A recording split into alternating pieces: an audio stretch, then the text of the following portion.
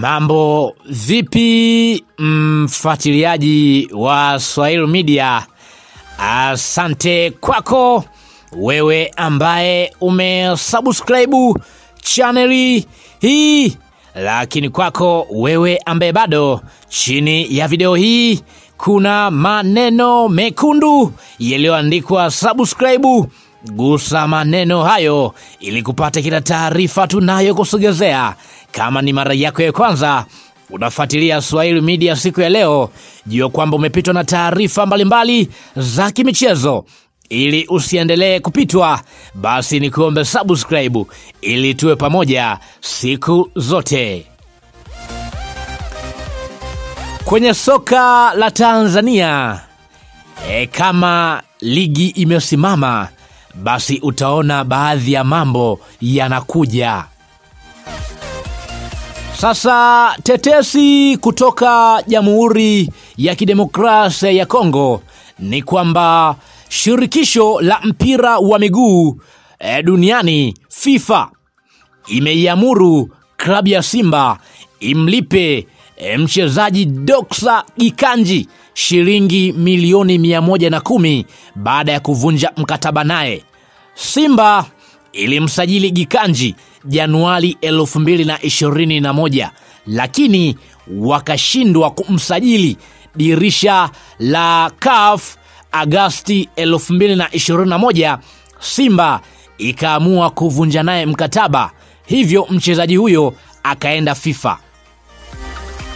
Ni kwamba Simba ilishindwa kumsajili kwa sababu tayari klabu yake ilishamsajili kwenye dirisha la CAF, hivyo Simba isingeweza kumtumia, na inadaiwa kwamba klabu ya Simba wamepewa siku 45 kulipa hela hiyo, kwamba mchezaji huyo tayari e, ameshtaki kuhusiana na swala hilo. Je, kwa upande wa Simba majibu yao ni yapi?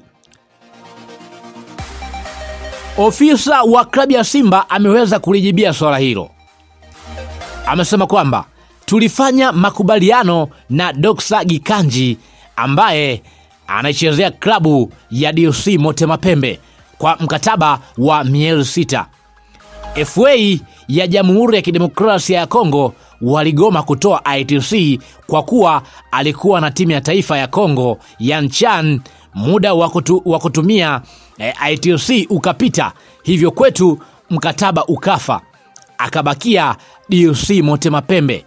Tunamlipaje na mkataba hakuutumikia? Kuhusu sakata la Doksa Gikanji kuidai klabu ya Simba, kwa ufafanuzi Simba iliingia makubaliano na mchezaji wa DC Motema Pembe Doksa Gikanji kwa mkataba wa miezi sita. Klabu ya DC Motema Pembe waliridhia kumtoa mchezaji huyo kwa miezi sita. Hata hivyo, chama cha soka cha Jamhuri ya Kidemokrasia ya Kongo waligoma kutoa ITC kwa kuwa huyo mchezaji alikuwa anaichezea timu ya taifa ya Jamhuri ya Kidemokrasia ya Kongo kwenye CHAN kule Cameroon. Sasa muda wa kutuma ITC uliisha kabla ya ITC kutumwa, hivyo mkataba wa Simba na Doksa ukafa na mchezaji akaendelea kubakia ndani ya klabu ya DC Motema Pembe, ya maana kwamba mchezaji huyo aliendelea kubaki huko DC Motema Pembe, ya maana kwamba Simba tayari walishaingia naye mkataba, ya maana kwamba kila kitu kilikuwa kimeshakamilika. Ila sasa kwa upande wa Simba majibu yao ambavyo wameajibia ni kwamba mchezaji huyo watamlipa vipi wakati mkataba hakuweza kuutumia. Sasa je, swali ni nani ambaye ni mkosefu?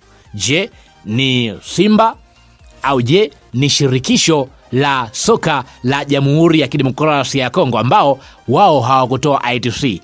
Kama unakumbuka eh, shirikisho la mpira barani Afrika wao ndio ambao walizungumzia swala hili kwamba eh, timu ambazo zinashiriki eh, ziliruhusiwa kuweza kusajili wachezaji wengi kuwatumia kutokana na sababu za virusi vya korona. Sasa kwa upande wa Simba, mchezaji huyo tayari walimpa mkataba na kila kitu kilishamalizika. Sasa mambo ya mishahara na malupulupu kwa mchezaji huyo jamana kwamba anadai ndani ya Simba, na ndio maana mpaka sasa anaidai Simba milioni mia moja na kumi hata kama mkataba hakuhutumia Yamaana kwamba swala hilo liko FIFA na FIFA tayari wamepitisha. Yamaana kwamba Simba watakuja tena na majibu mengine kuhusiana na swala hilo. Je, watafanya vipi? Kwa upande wako unadhani je, Simba haitakiwi walipe licha ya kumpa, ya kumpa mkataba mchezaji huyo? Je, FIFA wafanye nini kuhusiana na swala hili? Na tayari wamepitisha kwamba Simba walipe. Mimi naitwa Chicharito na hii hapa ni Swahili Media. Ni kuombe tu subscribe ili tuwe pamoja siku zote. Asante kwa time yako, tukutane kwa wakati mwingine kwa taarifa mbalimbali za kimichezo.